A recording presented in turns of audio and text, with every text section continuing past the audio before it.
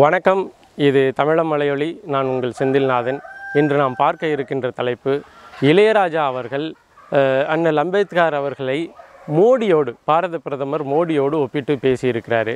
இன்றைக்கி திருமண திசையெல்லாம் வந்து ஏன் மோடியை வந்து அம்பேத்கரோடு ஒப்பிடுவதற்கு என்ன காரணம்? இதுக்கு பின்னாடி என்ன காரியம் இருக்க முடியும் என்பது குறித்தெல்லாம் பெரிய விசாரணைகளோடு திறனாய்வுகளோடு கவிதைகள் கட்டுரைகள் பார்வைகள் முற்றிலும் மாறுபட்ட கோணங்கள் இப்படியெல்லாம் வந்துக்கிட்டு இருக்கு. நம்ம நினச்ச அந்த ஒரு பகுதியை பலர் வந்து பேசவே இல்லை அப்படிங்கிற ஒரு வருத்தம் இருந்தது. அது குறித்து நம்மளை நம்ம வந்து என்ன என்ன இந்த செய்தியில் சொல்ல நினைக்கிறோம் அப்படிங்கிறது தான் இந்த பதிவினுடைய நோக்கம். இளையராஜா என்கின்ற ஒரு மனிதர் வந்து இசையில் மிகப்பெரிய மேதை. அதில் வந்து யாரும் மறுப்பதற்கு இல்லை. இளையராஜா இசையை ஒருவன் வெறுக்கிறான் என்றெல்லாம் சொல்லவே முடியாது. யாருமே அது மாதிரி இல்லை. அதாவது இளையராஜாவை பிடிக்காதவர்கள் கூட தெரியாமல் அவருடைய அந்த மியூசிக் அப்படின்னு சொல்லக்கூடிய இசையை ரசித்து விட்டு பிறகு இளையராஜாவா அப்படின்னு சொன்ன பிறகு கடந்து போகிற அந்த சூழல்லாம் நம்ம பார்த்துருக்குறோம். இப்படி இருக்கின்ற அதாவது இளையராஜா வந்து தன்னுடைய திறமையின் மீது அசாத்திய நம்பிக்கை கொண்டவர் ஞான செருக்கு உடையவர். அதாவது ரொம்ப திமிர்னு சொல்லுவோம் இல்லையா? அந்த திமிர் வந்து அவருடைய பக்குவத்திற்கும் அவருக்கு இருக்கின்ற அளப்பரிய இசை ஞானத்திற்கும் கிடைத்ததாக அவர் திமிரை கூட இளையராஜாவினுடைய திமிரை கூட ரசிக்கக்கூடிய ரசிகர்கள் இருக்கிறாங்க. அப்படிங்கிறதெல்லாம் நம்ம பல இடத்துல பார்த்துருக்குறோம். அந்த வகையிலே இளையராஜா அவர்கள் இன்று அண்ணல் அம்பேத்கர் அவர்களை பாரத பிரதமர் மோடியோடு ஒப்பிட்டு இருக்கிறார். இது வந்து நாம் எப்படி பார்க்குறோன்னா தொடர் சமூகத்தை இந்த சமூகம் வந்து ஒரு மாதிரியான சீர்கெட்ட நிலைக்கு போணுச்சு இல்லையா? அதை வந்து வழி வழியாக கொண்டுட்டு போகிறதுக்கு கடத்திக்கு செல்வதற்கு ஒரு ஊடகங்கள் தேவை. அப்படி தான் நம்ம பார்க்குறோம். ஏன்னா அறிஞர் அண்ணா அவர்கள் வந்து பேசும் பொழுது ஒரு வாக்கியத்தை சொன்னதாக பதிவு செய்ததை நம்ம கேட்டிருக்கிறோம். என்னென்னா இது என்னை மட்டும் தணிக்கை செய்யாத ஒரு படம் எடுக்கின்ற உரிமையை இந்த சமூகம் எனக்கு வழங்கினா இந்த சமூகத்தை முற்றிலும் புரட்சி உடைய சமூகமாக மாற்றி என்னால் காட்ட முடியும் என்று பதிவு செய்திருந்தார் என்று பல இடத்துல பேச நம்ம கேட்டிருக்கிறோம். அப்போது இதில் வந்து திரைப்படத்தால் ஒரு மாபெரும் புரட்சி இந்த மண்ணில் வெடித்து விடும் என்று பார்க்கின்ற பார்வையாளர்கள் சரி. ஆனால் உண்மையில் அறிஞர் அண்ணா அவர்களுடைய அரசியல் லாபத்திற்காக இந்த மண்ணில் இருக்கின்ற திரைப்பட ரசிகர்களை அப்படியே பயன்படுத்த நினைத்திருக்கிறார். அப்படி தான் நம்ம பார்க்கணும். ஏன்னா இந்த மக்கள் வந்து ஒரு திரைப்படத்தால் இந்த மக்களை ஈஸியாக அதாவது எளிதாக கவர்ந்து இழுத்து விட முடியும் என்கின்ற ஒரு எண்ணம் அண்ணாவிற்கு வந்தது. அதை அண்ணா பயன்படுத்தி கொள்ள நினைத்தார். அந்த எண்ணத்தை மக்களுடைய அறியாமையை திரைப்படத்தில் தான் எல்லாத்தையும் பார்க்கணும்னு நினைக்கிற மக்களினுடைய அறியாமையை தன்னுடைய அரசியல் லாபத்திற்காக பயன்படுத்தி கொள்ள நினைக்கிறார் அப்படின்னு தான் அதை பார்த்துருக்கணும். உண்மையிலேயே அண்ணாவின் அந்த பேச்சை விழிப்புணர்ச்சி அடைய வேண்டிய சமூகம் வந்து அப்படி தான் பார்த்துருக்கணும். ஆனால் அது வந்து திரைப்படத்திற்காக அண்ணா வந்து திரைப்படம் எவ்வளவு வலிமையானது என்ற பார்வையை வந்து அண்ணா சொல்லியிருக்கிறாரு அப்படிங்கிற மாதிரி பார்த்தது. அது ஒரு வகையில் அதாவது அந்த இடத்தில் அந்த தளத்தில் நின்று பார்க்கிறவர்களுடைய பார்வை பொறுத்து. இன்னைக்கு அண்ணல் அம்பேத்கர் அவர்களை வந்து பாரத பிரதமர் மோடியோடு இளையராஜா வந்து ஒப்பிட்டு பேசினது வெறும் ஒரு எதேர்ச்சியான ஒரு புகழ்ச்சி அதிகாரம். மோடி அவர்களை புகழ்ந்து பேச வேண்டும் என்று நினைத்ததற்காக இளையராஜா செஞ்சிருக்கிறாரு. மோடிக்கும் அம்பேத்கருக்கும் ஒன்றுமே ஒப்புமையே கிடையாத பொழுதும் அதை வந்து செய்திருக்கிறாருன்னா அது வந்து பி- பின்னாடி எந்தவித அரசியலும் இல்லை அப்படின்னு நினச்சோம்னா நம்ம பத்தோட பதினொன்னா தான் இந்த பிரச்சனையை பார்க்க நேரிடும்.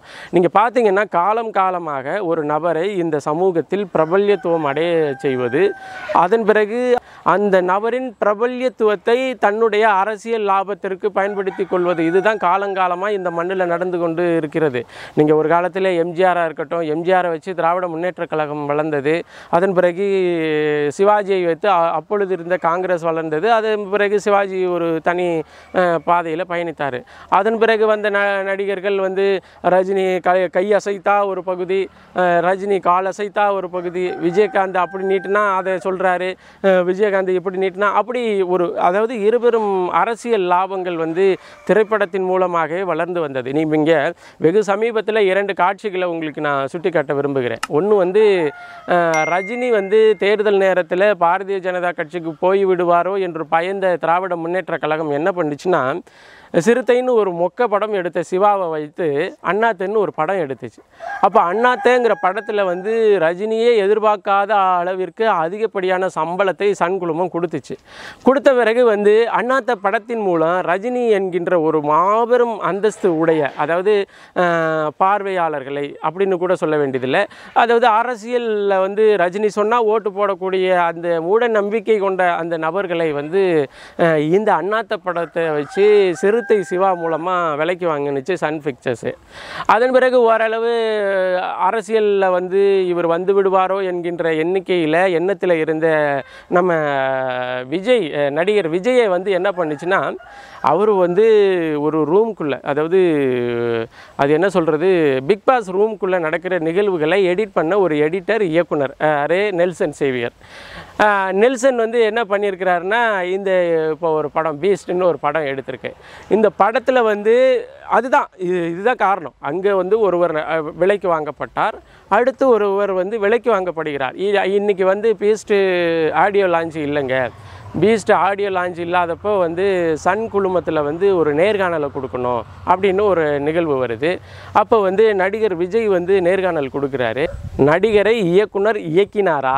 அல்லது இயக்குனரை நடிகர் இயக்கினாரா? என்றது தான் தெரியல. நீங்கள் அந்த சன் டிவியில் சன் டிவியில் கொடுத்த அந்த நேர்காணல் வித் விஜயை பாருங்களேன். விஜய் வந்து நோகி விடக்கூடாது. விஜய்கிட்ட நெளிஞ்சு நொழிஞ்சு அப்படியே கை ஒடுக்கி கால் ஒடுக்கி அப்படியே பம்பியமாக தான் நெல்சன் வந்து கேள்வியை கேள்வியை கேட்பாரு. அப்போ என்னன்னா இந்த இயக்குனர் இந்த இயக்குனர் வந்து எப்படி வந்து பீஸ்ட் படத்தை விஜயை வச்சு இயக்கியிருப்பார்? விஜயை இயக்கியிருக்கவே முடியாது. விஜய் இயக்குவதற்காக ஒரு இயக்குனர் படைக்கப்பட்டார். அதுவும் சன் குழுமம் தான் படைச்சிச்சு. சன் குழுமம் தான் விலைக்கு வாங்கினுச்சு. இப்போ ஆட்சி அதிகாரம் அதே நேர்காணலில் பார்த்தீங்கன்னா ஆட்சி அதிகாரம் பற்றி உங்களுடைய கருத்து சொல்லுங்கள் அப்படின்னு கேட்குறாங்க இதே விஜய் சொல்கிறாரு எல்லா துறையிலையும் நிர்வாகம் நல்லா போயிட்டுருக்கு யார்? பீஸ்ட் படம் சன் குழுமத்தினுடைய படம் பீஸ்ட் படத்தில் நடித்த விஜய் சொல்கிறாரு எல்லா துறைகளிலும் ஆட்சி நிர்வாகம் வந்து சரியாக போயிட்டுருக்கு இந்த ஒரு வார்த்தை ஃப்ரம் விஜய்கிட்டேருந்து வரணும் இல்லையா? அதுக்கு தான் அவன் இத்தனை கோடியை செலவு பண்ணி ஒரு படத்தை எடுத்திருக்கிறான். அந்த படம் முழுசாக வந்து அந்த படம் வந்து ஒரு அட்டர் வேஸ்ட்டுன்னு எல்லாருமே சொல்கிறாங்க நம்ம சொல்ல வேண்டியதில்லை. நீங்கள் ஐயோ இவர் வந்து விஜய் ஹேட்டர்ஸ் அப்படின்னு எல்லாம் நினைக்க வேண்டியது நான் எவனையும் விரும்புறதும் கிடையாது. ஹே- விரும்பினாதானே ஹேட்டர்ஸாக இருக்கிறது. அது வேறு விஷயம். அப்போது இது இவ்வளோ பெரிய பணத்தை முதலீடு செய்து ஏற்கனவே வந்த படத்தில் உள்ள வசனங்களை அப்படியே எடுத்து காப்பி பேஸ்ட் பண்ணி பீஸ்ட்னு ஒரு படம் எடுத்து விஜய் வந்து மறுபடியும் ஸ்டார் ஆக்கலை. விஜய் என்கின்ற சோசியல் வேல்யூவை சன் குழுமம் தனக்கு பயன்படுத்தி கொள்ள நினைத்தது. அதற்கு எத்தனை கோடினாலும் செலவு அப்படிங்கிற மாதிரி தான் போணுச்சு. அப்படி தான் போயிருக்கு. இப்போ வந்து வேறு பீஸ் டு டூ வந்து வரப்போகுதான். ஒன்றுக்கே உலகம் தாங்கல சாமி. நீ ரெண்டாவது வேறு எடுக்கிறேன்னு சொல்லி நெல்சன் வேற போட்டிருக்கிறாரு. இது ரெண்டாவது. அப்படி தான் வெகு சமீபத்தில் ஆரிய கூடாரங்களுக்கு எதிர் திசையில் வந்து ஏஆர் ரகுமான் வந்து நின்று களமாடினார். மொழிக்கு இணையாக இருக்கட்டும் நிறத்திற்கு இணையாக இருக்கட்டும் அதே போல் வந்து இந்த இந்தி திணிப்பிற்கு எதிராக இருக்கட்டும் உண்மையிலேயே அது இயல்பான போராட்டம். நீங்கள் வந்து ஏஆர் ரகுமான் என்கின்ற ஒரு உலக புகழ்பெற்ற இசை மாமேதை வந்து இந்தி எதிர்ப்போ அல்லது தமிழுக்கான ஆதரவோ அல்லது தமிழ் மொழியின் மீது அவர் வைத்த பற்றோ எல்லாமே இயல்பாக இருந்தது. அந்த இயல்பாக இருந்த பற்று இந்தி திணிப்பிற்கு ஆதரவாக நின்ற ஆரிய வர்ணாசிரமத்திற்கு எதிராக தன்னை நிறுத்தியது.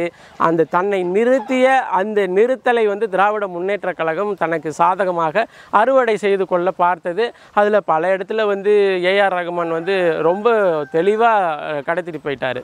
அப்போது ஆரிய வர்ணாசிரம எதிர்ப்பு பக்கத்தில் நின்று உலக புகழ்பெற்ற ஒரு இசை மாமேதை ஏஆர் ரகுமான் வந்து கருத்து சொல்லிக்கிட்டு இருக்கிறாரு. அப்போ ஆரிய கூடாரத்திற்கு ஒரு கருத்து சொல்வதற்கு ஒரு ஆள் தேவை. அவ்வளோதான் இதை தாண்டி இளையராஜா வந்து மோடியை அம்பேத்கரோடு ஒப்பிட்டதற்கு வேற எந்த காரண காரியமும் தேவையில்ல.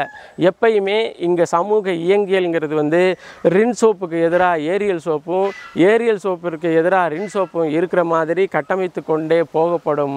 ஆனால் ரின் சோப்பையும் ஏரியல் சோப்பையும் தயாரிக்கின்ற தயாரிப்பாளர் ஒரே கம்பெனிக்காரங்கிற சூட்சுமத்தை புரிஞ்சு கொள்ள வேண்டிய நேரம் இருக்குது அதே போல் ஆரிய வர்ணாசிரமத்தினுடைய பக்கத்தில் நின்று இளையராஜா அவர்கள் வழிந்து அந்த கருத்தை பேசியிருக்கிறார். இதை தாண்டி இளையராஜாவுக்கு இசைஞானம் தானே இருக்குது ஆமாம் இளையராஜாவுக்கு இசைஞானம் தான் இருக்குது அதை தாண்டி பாரத பிரதமர் மோடியை என்எல் அம்பேத்கரோடு ஒப்பிட்டாரே. அவர் ஒப்பிட்டுட்டு போகிறாரு அது ஏன் நீ நம்புகிற இளையராஜாவிற்கு இசையில் மட்டும்தான் ஞானம் இருக்குது என்றால் இளையராஜாவின் மாற்று கருத்துக்களை நீ மதிக்க வேண்டிய அவசியம் என்ன? அவசியம் என்ன? அது தேவையே இல்லை. ஆனால் அது வந்து இன்றைக்கி ரொம்ப பெரிய பிரச்சனையாக்கப்பட்டு பேச கொண்டிருக்கிறது அதில் சில பேர் அது சாதியா சாதி காரணமாக அப்படின்னெல்லாம் பேச ஆரம்பிச்சிருக்கிறாங்க.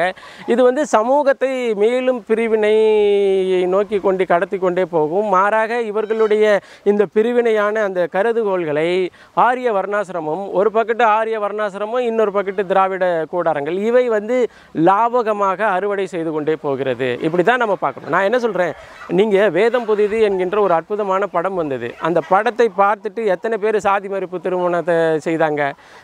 செய்யலையே செய்யலையே. கருத்தம்மான்னு ஒரு படம் வந்தது. கருத்தம்மாங்கிற ஒரு படம் வந்து தேசிய விருது முதல் முறையிலேயே தேசிய விருதுகளை வாங்கின கருத்தம்மா படம் வந்திருந்தது. அந்த கருத்தம்மா படத்தை பார்த்துட்டு எத்தனை பேர் பெண்கள் மீது மதிப்பு கொண்டு பெண் பிள்ளைகளை பெற்றெடுப்பதில் மிகுந்த விருப்பமிட்டு இருக்கிறாங்க அப்போது திரைக்கலையில் திரையில் வருகின்ற எல்லாத்தையுமே சமூக வாழ்வியல் இயங்கியலோடு நீங்கள் ஒப்பிடணுன்னெல்லாம் அவசியமே இல்லை. நீங்கள் என்ன சொல்கிறேன் இந்த மண்ணில் திருவள்ளுவர் காட்டாத அறநெறிமுறைகளா? அப்போது திருவள்ளுவரை எல்லாருமே பயன்பட்டு அறவுடைய வாழ்க்கையை வாழ்ந்து கொண்டு இருக்கிறோமா அதே போல் தொல்காப்பியம் காட்டாத அறசிந்தனையா? தமிழ் சமூகத்தின் வாழ்வியல் மரபா?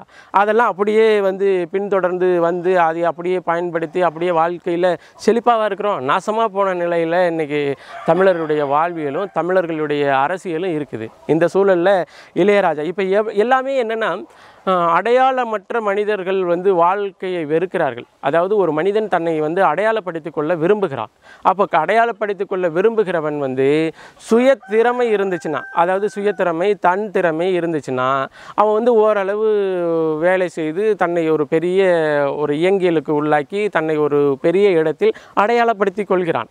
மற்றவன் என்ன செய்கிறான் பார்த்தீங்கன்னா ஏற்கனவே அடையாளப்பட்டு நிற்கின்ற பெரிய பிம்பங்களுக்கு ஆதரவாகவும் எதிராகவும் நின்று தன்னை ஒரு அடையாளத்திற்கு உள்ளாக்கிக்கிறான். இன்றைக்கி ஏஆர் ரகுமானுக்கு எதிராக பேசுகிறவங்க எல்லாருமே ஏஆர் ரகுமான் மாதிரி ஒரு குறிப்பிட்ட ஒரு பெரிய உலக புகழ் என்கின்ற அந்த தளத்தில் இருந்துட்டு இந்தி திணிப்புக்கு எதிராகவும் தாய் தமிழுக்கு ஆதரவாகவும் நின்று பேசுனாங்களா என்ன? இல்லை. ஆனால் அந்த அடையாளம் இருக்குது பார்த்தீங்களா ஏஆர் ரகுமானை எதிர்ப்பதனால் தனக்கு கிடைக்கின்ற அடையாளத்தை இந்த சமூகத்தில் தன்னுடைய அடையாளமாக மாற்றிக்கொள்ள விரும்புகிறார்கள். அதே போல் இசைஞானி இளையராஜா அவர்களுக்கு இசையில் மட்டும்தான் ஞானம் இருக்குது என்பது எல்லாருக்குமே தெரியுது இந்த கருத்தின் மூலம். அப்படி இருக்கும் பொழுது இளையராஜா இது செய்திருந்தாலும் அது தவறில்லை என்று தன்னை சப்பக்கட்டு கட்டுறாங்க பார்த்தீங்களா இளையராஜா இப்படி பேசியிருந்தாலும் தவறில்லை அது இசைஞானி இசைஞானியினுடைய இசைத்தான் பார்க்கணும் இதை பார்க்க பார்க்கக்கூடாது இதை பார்க்கக்கூடாதுன்னா அதை நீ சொல்லக்கூடாது என்கின்ற ஒரு கருத்து இல்லை இல்லையா? நான் என்ன சொல்கிறேன் இசைஞானியே இசையாக மட்டும் பாருங்கள் அதன் பிறகு அதனுடைய ச அவர் வெளியிட்ட அந்த கருத்திற்கு எடுத்துட்டு வந்து பார்த்தீர்களா இது அது அப்படி இப்படின்னு எழுதி அதற்கு ஆதரவாக ஒரு கூட்டம். அதற்கு எதிராக ஒரு கூட்டம். அப்போ என்னன்னா இவங்க ரெண்டு பேருக்குமே ஒரு அடையாளம் தேவைப்படுகிறது. இந்த மனிதர்கள். அதாவது இளையராஜா இளையராஜா என்பவரை ஆதரிப்பதன் மூலம் ஒரு அடையாளம் இளையராஜா என்பவரை எதிர்ப்பதன் மூலம் ஒரு அடையாளம். இளையராஜாவுக்கு இசை மட்டும்தான் அடையாளம் என்பதை தாண்டி இவர்கள் இந்த உள்ளரசியலை பேச மறுக்கிறார்கள். நீங்கள் நீங்கள் எதற்காக அம்பேத்கரை வந்து ஒப்பிட்டீங்க? ஒப்பிட்டதுக்கு பின்னாடி காரண காரியத்தை அவரும் சொல்லலை இவங்களும் கேட்கல. ஒப்பிட்டது சரியா தவறான்னு பேசுகிறானுங்களே ஒழிஞ்சு ஒப்பிட்டதற்கு பின்னாடி ஏன் ஏன் நீ காரணத்தை சொல்லலைன்னு இளைய இளையராஜா கிட்ட கேட்கல? ஏன்னா அவர்கிட்ட காரணமே இருக்காது. ஒப்பிட்டது நடந்ததற்கு பின்னே உள்ள அரசியல் காரணம் என்னன்னு எவனும் யோசிக்கவும் இல்லை. யோசிச்சா அதை பொது வழியில் பேச முடியல. ஏன்னா இவர் வந்து ஆரிய வர்ணாசிரமத்திற்கு ஆதரவாக இந்த கருத்தை வெளியிட்டார் என்பது உண்மையான உண்மை. ஏன்னா எப்பயுமே ஒரு நடிகருக்கு இருக்கின்ற தளத்திலிருந்து இன்னொரு நடிகரை எதிர்தளத்தில் வைக்கும். எதிர்தளத்தில் வைக்கும். அப்போ ஒரு இசை புயலுக்கு எதிர்தளத்தில் இசைஞானியாகி வைத்து இந்த பக்கெட்டு ஆரிய எதிர்ப்பா இந்த பக்கெட்டு ஆரிய ஆதரவு. இப்படி தான் போகுது சமுதாய இயங்கியல். இதை நீங்கள் புரிந்து கொள்ள வேண்டிய அவசியம் இருக்குது இசை புயல் ஏஆர் ரகுமான் அவருடைய இந்தி எதிர்ப்பு தமிழ் மீதான ஆர்வம் இது எல்லாமே ஒரு இயல்பாக நடந்த ஒன்று. அவர் வந்து இதை எதிர்க்கணும் இதை வந்து ஆதரவு கொடுக்கணும் என்கின்ற ஒரு மனநிலையில் அதை செய்யவில்லை. மாறாக இளையராஜா மீது வலிந்து திணிக்கப்பட்ட இந்த கருத்தானது அவர் வெளியிட்ட இந்த கருத்தானது ஏஆர் ரகுமான் என்கின்ற இசை பிம்பத்திற்கு எதிராக ஒரு அரசியல் பிம்பத்தை இங்கு கட்டமைக்க வேண்டும். மாறாக நேரடியாக எதிர் திசையில் அவரை அமர்த்தாமல் கருத்தியல் அடிப்படையில் அவரை எதிர் திசையில் அமைத்து இந்த அரசியலை செய்ய வேண்டும் என்று ஆரிய வர்ணாசிரமம் முடிவு பண்ணியிருக்கு. ஆரிய வர்ணாசிரம தர்மம் முடிவு பண்ணதை இளையராஜா அவர்கள் அதை பேசியிருக்கிறார். அப்படி தான் நம்ம பார்க்குறோம். அதனால் இளையராஜாவை நம்ம கண்டிக்கவோ ஏஆர் ரகுமானை நம்ம வாழ்த்தவோ எதுவுமே இல்லை. ஏன்னா அவங்கவுங்களுக்கும் இந்த இனத்தில் பிறந்த ஒவ்வொருக்கும் ஒவ்வொருத்தருக்கும் சமூக கடமைன்னு இருக்குது அப்போ சமூக கடமையை ஒழுங்காக அவர்கள் ஆற்றுகிறார்களா அல்லது தன்னோக்கு அடிப்படையில் மட்டுமே தன்னுடைய பிழைப்பிற்கு அடிப்படையில் மட்டுமே ஒரு பெரிய புகழின் உச்சத்தை அடைந்து இறந்து விட்டு போகிறார்களா என்பது தான் இங்கே கருத்து. அந்த கருத்து வந்து இவர் அப்படியே இருந்திருக்கலாம். இசை ஞானியாகவே இருந்திருக்கலாம். அவருடைய சகோதரர் கங்கை அமரன் தான் போயிட்டு பாரதிய ஜனதாவில் ஒரு மாதிரி அலம்பலாகி புலம்பலாகி வந்தார். இப்போ அவர் பாரதிய ஜனதாவில் இருக்கிறாரா இல்லையான்னு தெரியல. அவர் குடும்பத்தில் ஒருத்தர் அப்படியே பாரதிய ஜனதாவிலே இருந்துட்டு இவருனாலும் இசைஞானியாகவே இருந்திருக்கலாம். இப்போ என்னென்னா இசைஞானி அவர்கள் வந்து அண்ணல் அம்பேத்கர் அவர்களை கருத்து சொல்லிட்டாரு மோடியோடு ஒப்பிட்டு சொல்லிட்டாரு. அப்படின்னால வந்து மோடியின் புகழ் உயர போகிறதே இல்லை. மோடியின் புகழ் உயர போகிறதே இல்லை. அண்ணல் அம்பேத்கரினுடைய புகழ் வந்து தாழ போகிறதும் இல்லை. ஏன்னா இங்கே நிறைய பேர் தென்னாட்டு பிரபாகரன்னு எழுதி வச்சுருக்கிறாங்க.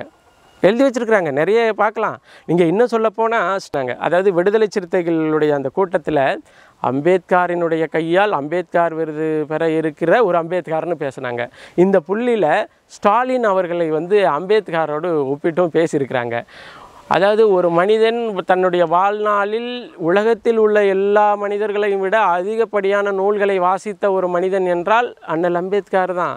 ஆஸ்திரேலியாவில் உலகின் மிகச்சிறந்த கல்வியாளன் என்கின்ற ஒரு கல்வியாளனின் சிலையை திறக்க ஒப்புதல் கொடுத்து அந்த சிலையை திறந்த பொழுது தெரியுது அது அண்ணல் அம்பேத்கர்னு அந்த சிலைக்கு சொந்தமானவர் அண்ணல் அம்பேத்கர். அப்படிப்பட்ட கல்வியாளனை வந்து எழுதி பா கொடுத்தா கூட பிழை இல்லாமல் படிக்க தெரியாத மு க ஸ்டாலினோட ஒப்பிட்டும் பேசியிருக்கிறாங்க. அதனால் இது எல்லாமே அரசியலுங்க. இது அரசியல். இந்த அரசியலை நீங்கள் தெளிவாக புரிந்து கொண்டால் உங்களுக்கு வந்து இவரை கொண்டாடணும் இவரை தூக்கி போட்டு மிதிக்கணும் இவரை வந்து விமர்சிக்கணும் என்- அவரவர்களுக்கான சமூக கடமை அரசியல் கடமை. அதை செய்துவிட்டால் போதும். இங்கே ஒரு சாரார் ஆதரவும் மறுசாரார் எதிர்ப்பும் என்பது அவர்கள் தங்களுக்குள் தேடிக்கொள்கின்ற அடையாளத்தை தான் சமூக தளத்தில் பிரதிபலிக்கிறதே தவிர வேற எந்த பயனும் இல்லை என்பதை மட்டும் பதிவு செய்து மீண்டும் ஒரு காணொளி பதிவில் இணைவோம். நன்றி வணக்கம்.